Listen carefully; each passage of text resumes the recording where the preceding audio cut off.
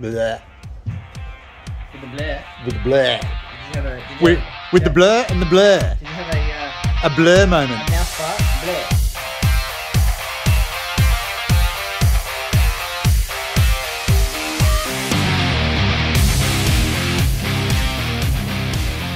All right, guys, welcome back to Revamp and welcome back to the third part of our plumbing special. Now, it has been a bit of a break on these plumbing videos. We have been concentrating on trying to get the VX Commodore back on the road with all its new suspension. If you haven't seen those videos, I'll put a link up here in the corner. But we've got a little break on that at the moment, just waiting for the diff to get checked out for us. So we're going to try and finish up the plumbing on the one tonner. So, so far we've done the radiator, we've done the fuel system. So in this one, there's a lot of lines to just look at. Uh, shouldn't be a long video. I've just got power steering lines, transcool lines to have a look at, and things like brake booster. And we may look at the breather tanks if we've got time towards the end. So let's get into the video and bring you guys along on part three of the plumbing special on the one tonner. So continuing on with our plumbing, going to move up to the power steering here. You can see down here we've got a couple of AN fittings down here on the power steering, just here. And then we've got a couple here on the power steering cooler.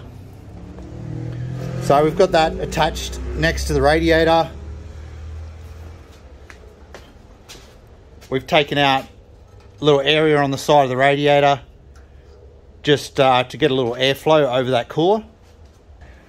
So what I've got to do is make up a high pressure line to the steering rack head.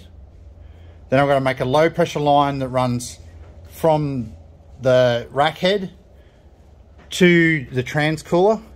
And then from the trans cooler, it goes back to the reservoir of the power steering. I'm going to mount the lines for the power steering. You can see we've got the Astra pump here at the back next to the battery, which goes here. So we've got dash six lines. We've got high pressure Teflon, dash six braid for obviously the feed for the rack. And then we're just using the dash six rubber for the return from the power steering cooler. So I'm just going to mount them with a simple P clamp to the side here and run them right along. Okay, got those lines nicely cushion clamped up. I've got the power steering lines running out from underneath the corner of the cab here. We've got them in a heat sleeve, partly because it's going to run around the inner guard close to this, not, well not close, but close enough to this exhaust here. Then it's going to run around the inside of the inner guard and then over then over into the engine bay. So partly for heat, also because it's going to be on the outside of the inner guard, we want to give it a little bit of protection from yeah, things like stones and that kind of stuff. Make sure it doesn't get damaged. Well, we've got the inner guard on and the driver's side guard on, as you can see. And we've got our power steering lines running around the inner guard here. As you can see, that's the primary for the extractors. So we did have to clearance a bit here for the primary. And we've also gone ahead and clearance down here where this purple tape is to allow the hoses to come through from the other side there. So they'll run up like that. What we're trying to do, we're trying to utilize as many of the original holes in the inner guard as possible. So we've got some nice little stainless button head uh, bolts that go through from the other side. So just give it a nice clean look over there. And obviously over here, we're going to have to put one or two extra holes and extra clamps over here. So that's going to get those lines out of the engine bay for a cleaner look. It's going to keep them away from the exhaust. We've got the heat shield on them for obviously heat. and it's heavy duty enough for any small stones or anything like that. So that's almost got those power steering hoses routed. Next, we've just got to check the length where it goes onto the cooler and the steering rack.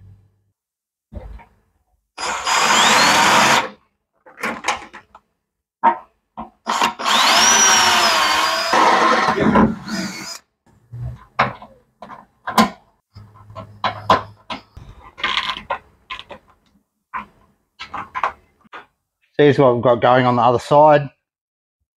We'll put a little clamp in here somewhere to hold it against the chassis.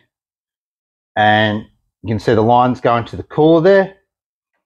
And we've got the lines going down, down here to the rack. Now I would have liked these lines to be a little more even. Um, just the loops are a little bit funny, but because the rod shop rack didn't come with the actual fittings that went in the rack down there in the rack head, uh, the instructions showed banjo fittings and we couldn't actually get the banjo fittings. So we had to go with the uh, just whatever angle AN fittings we can get. So yeah, like I say, I would have liked the lines to be a little bit neater than that around the rack, but you know, it's probably about as good as we can do. You can also see there we've got the button head screws and you can see the cutout there that we did around the exhaust for the inner guard. We'll have to do that on the other side as well, but there's no hoses or anything running around the other side, so it's not really something that we're doing straight away. We just needed to get this inner guard on so we could sort out the rest of these plumbing lines. The other thing that we've done, and you may have seen it in some other videos, we just haven't really covered it yet, is the lines coming off the carbies here. They run to a T-piece underneath here, and that's for our brake booster. As you can see, this car does run a vacuum booster still. And you can see we have the line running through here across the bottom of the blower. So it's a pretty basic setup, just a dash 6 AN line, which is fine for vacuum. And you can see we've got the vacuum line for the brake booster running from both carbies. That's partly for a bit of a symmetrical look, but partly just to make sure that we don't have any balance issue with our carbies. You know, it shouldn't cause an issue, but, you know, we want to make sure that both carbies stay as balanced as they possibly can be. So that's just another little part of the plumbing that I'd show you that we've sort of just sort of covered and not really, you know, talked about much. So the other thing we're looking to show you here is our transcooler lines. Now, obviously it's a bit hard to see there, but we have our Teflon braided lines coming out well, in and out of the gearbox there at the transcooler connectors. Uh, if you come along, you can see we've got this fitting here, which is just a bit of a, like um, a block style fitting. Uh, it might be a bit hard to see up there, but that's our, that little brass fitting up there is our transmission oil temperature sender. Now, we've got that in the return line from the cooler. So the line going back to the gearbox so that we get an indication of the oil temperature after it's cooled, make sure the cooler is working. But also so we don't get huge temperature spikes um, from the oil before it's cooled. So it gives us a better all-round temperature uh, reading for the oil. So that's why we've gone with it in the return line for the transcooler. So the lines continue along. The rubber line is our breather, which goes to one of our breather tanks at the back of the car. Um, obviously, no one wants to be that guy putting transmission oil down the track or even on the street for that matter. You know, spraying on the exhaust or something silly like that. So what we've gone and done, one of our breather tanks at the back is for the transmission, and that can breathe and drain back into the transmission as it pleases. Then moving up the back, we've got the trans cooler, which is mounted to the frame that we built across the chassis for the battery and the Astra Power steering pump. So I think from memory, it's a, uh, I think it's an Aeroflow item, more than likely from RCE. And you can see it runs a temperature switch on it. So you can run the fan controlled off the temperature switch, so it's not on all the time. We've mounted it on a bit of an angle here on the frame, just to try and keep some airflow around it. Know, like even if you have a fan, if you have it mounted like fully horizontally to the underside of a tray or something like that, doesn't give a lot of air for it to um, really breathe, so to speak, even with a fan. So that's why we've gone with the angled mounting. And obviously the fan's going to help that out as well. That's a quick look at the cooling for the transmission. Pretty simple mounting system. You know, just mounting it on that angle. Lines are pretty simple. And, you know, we've got that sensor in there for the, trans temperature. So that should have us covered nicely for the transmission. All right, guys, hope you've been enjoying the plumbing specials we've had going on. We're just about to the end of the main parts of all the plumbing. Uh, this one's been mostly about a lot of lines that we've done. Uh, one thing we were going to put in a different video, but we're going to put into this one uh, just to wrap up these plumbing specials, uh, is these breather tanks at the back of the cab. Mentioned them a couple of times, haven't really gone into a lot of detail about them. They're there for the fuel tank, the diff, and the transmission. So obviously we've got breather tanks for the engine as well, but we'll probably do a separate video on those uh, once we finalise the design and the front of the cars back together and we can fit it all up properly. But these ones here, they're a little bit different to what you normally see on cars. You know, um, most people just stick with, you know, a piece of tube or something like that. Uh, and they work similar in a way to, uh, I suppose, a radiator overflow, where you have a hose coming from an item, can build up fluid and then suck it back to that, that um, component again. So what I'll do, these are just on here loosely at the moment. I'll unscrew one and, or maybe both of them, and I'll show you what's going on and just give you a better idea of what we've got going on with these breather tanks. So let's get one off and have a look. While I'm just taking these off, I'll get you guys up to date with some of the footage of when we were making these and a little bit of what's underneath the car to do with them, that kind of thing. So have a look at that and I'll catch back up with you in a second. Well, look at this. I get in here and Jimmy's got a bit of a surprise for me. He's got uh, the basis of one of our breather tanks. Thanks to Graham who's put it together for us. Absolutely perfect. Exactly what we wanted. Yep. It's the right size. It actually fits in there nice. So we can actually we can move it. You know, we can sort of put it where we want. There's going to be one exactly the same on the opposite side. Uh, but yeah, fits in there really well. We've got uh, these breather tanks. They're not quite finished yet. They're mounting on the top here. Has to be filled in to give it some strength. We've put some nutserts in the top. Jimmy's made up some little templates that we're going to use inside the car to work out where the holes are going to go. So we're going to try and get the position of the tanks and then we're going to move the templates inside, drill the holes, and with fingers crossed and great skill and determination, the holes are going to line up perfectly. So we'll get into that and see how we go.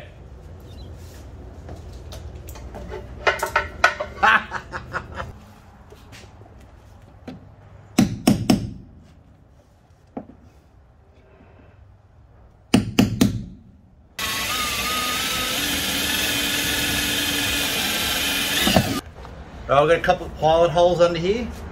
We can take the template inside now, line up the rest of the holes and drill our main holes from the inside. All right, so our pilot holes lined up nicely with our template. Now I'm just going to mark the other two holes and do a pilot hole in those. And then we should be able to size it up for the bolts we're going to use.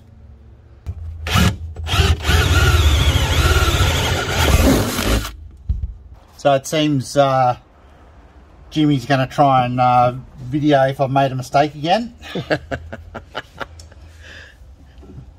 we'll see. Well, that's one.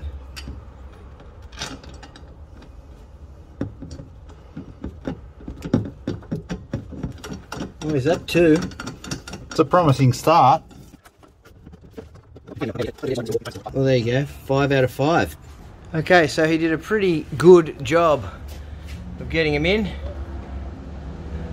Nice and even. Yeah. There's the back of the car. So that's in the right spot. Obviously, they're going to get powder coated uh, black. I'll probably do them gloss black. Match the tray, uh, match the cabin. So how this is actually going to work is there's actually three breather tanks here. This one is breather and overflow for the fuel tank. Uh, you can see it doesn't have the divide in the middle. This one here actually has a divide in the middle and we've got diff breather and trans breather. Now, diff breather, I've quite often had a problem with nine inches where the rattle hat breathers will blow oil all over the underside of the car, particularly highway speeds, etc. Now, we had that problem with the v, VX Commodore and it, um, yeah, we put a breather tank on that and it's fixed the problem. Transmission, if you've ever been to the racetrack and seen someone, know, down the racetrack and they've had wisps of oil coming out, a lot of the time you can find that it is the trans breathing oil onto the extractors. Now, we've put the tank on. This tank will actually not only breathe for the transmission, but the fitting on the bottom won't have a valve or anything in it. It'll just be open and it will actually drain the oil back to the transmission if it blows any out. So the fuel, because we're in a one tonner and we've got a drop tank in there, doesn't give you a lot of room above the tank to breathe. Uh, so when you fill the tank up, it's very difficult to stop the overflow from overflowing fuel. Now a lot of people say, yes, put a rollover valve, I do a loop of hose, all that kind of stuff. Tried all that kind of stuff on one tonners before, failed. All I've been able to have success with, particularly with a car that will have no headboard like this, it will basically be here, the tray. We do an expansion or breather tank. Now this will sort of work like a, sort of like a radiator overflow tank. The excess pressure and fuel will come in the bottom. It'll have a breather in the top.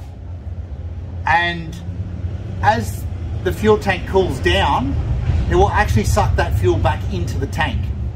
You know, obviously like your pressurized cooling system does. So that's how we're going to try and get around the uh, low tray with the drop tank up high enough. And you can see it is quite high to the chassis. So if we want a nice low tray, we need somewhere for this pressure to go. And that's what we're going to do with these.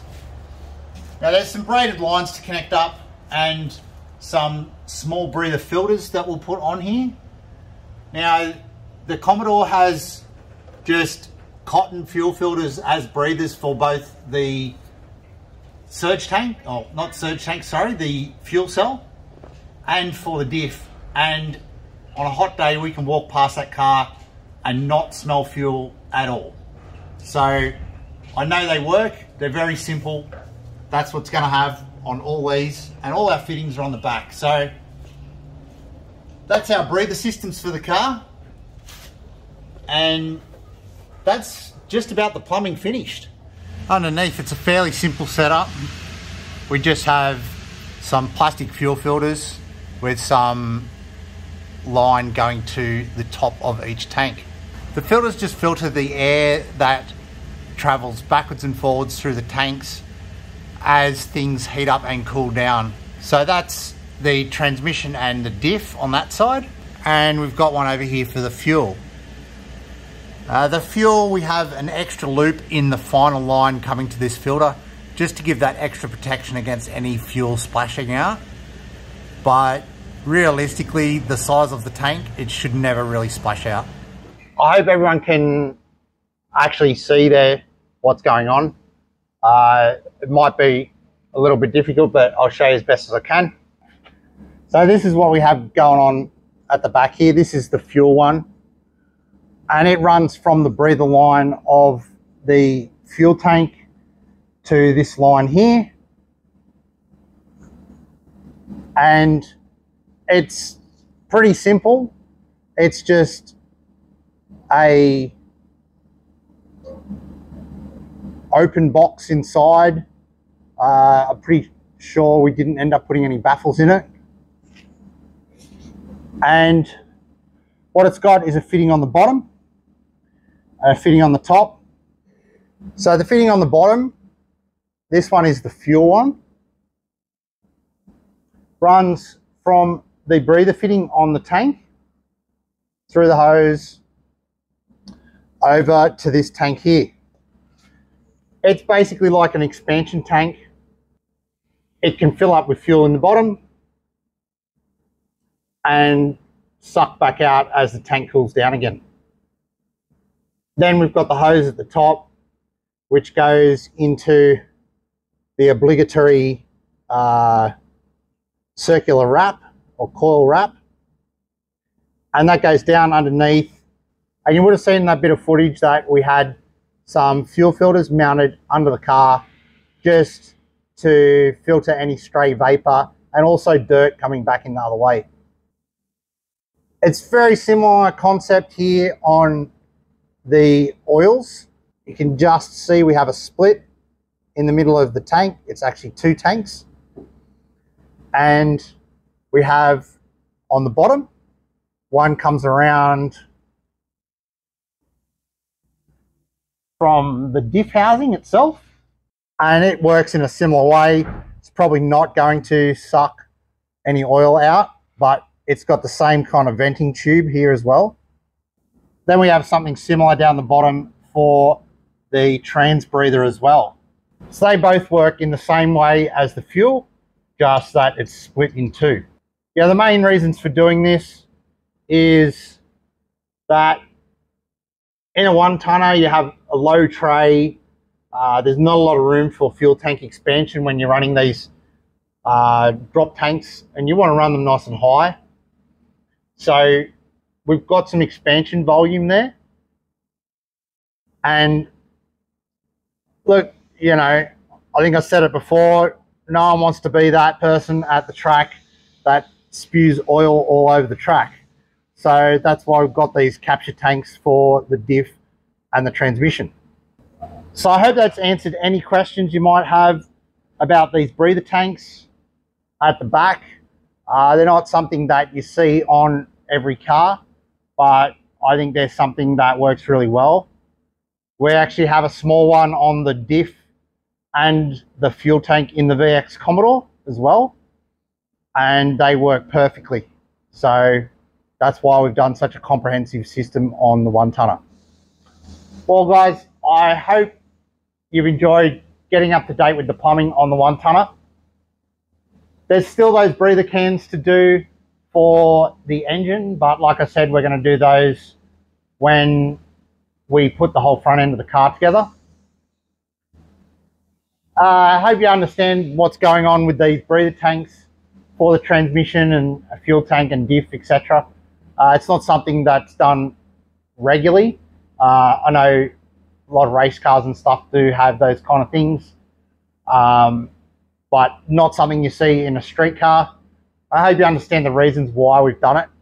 If you want to know any more specific details about particular items that we've used or anything like that, let us know in the comments and we might do a just a general run through of the plumbing and the individual parts that we've used and not so much about how we fitted them. Um, but other than that, thanks for watching these plumbing specials and subscribe to the channel if you want to keep up to date with this or any of our other projects. And I'll catch you up next time on Revamp.